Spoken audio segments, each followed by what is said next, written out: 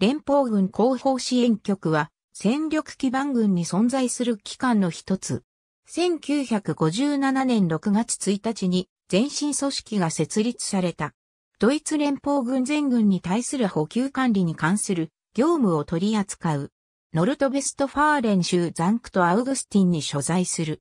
1957年6月1日に全軍資材局が設立される。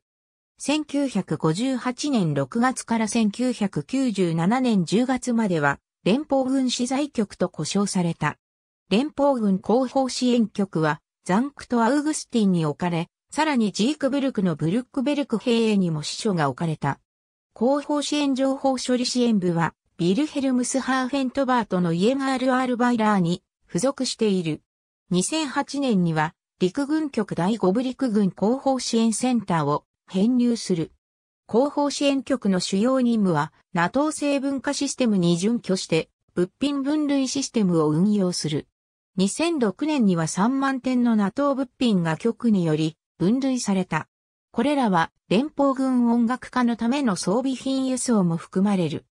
現在の例ではモジュラー型医療施設、デューロ、YAK 防護トラックやマルチ交換、ローダーシステム、ドイツ発の偵察衛星システムの SAR ルーペが取扱い範囲に含まれる。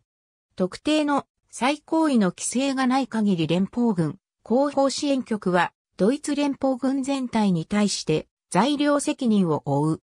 さらに、広報支援局は需要主体を支援すべく既存の国内及び多国籍による平坦情報処理技術プロジェクトの兵器、体系結合システムを例外的に運用する。